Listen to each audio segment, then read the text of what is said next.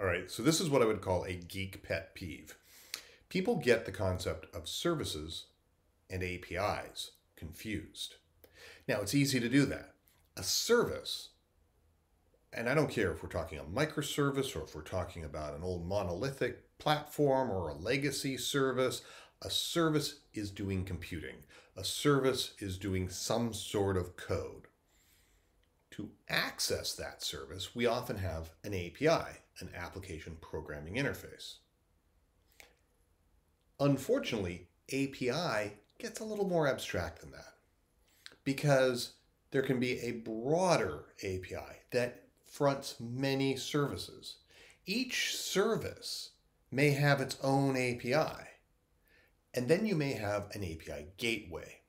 This is a place where you can have public access to all the services in a data center, all the services controlled by one set of governance.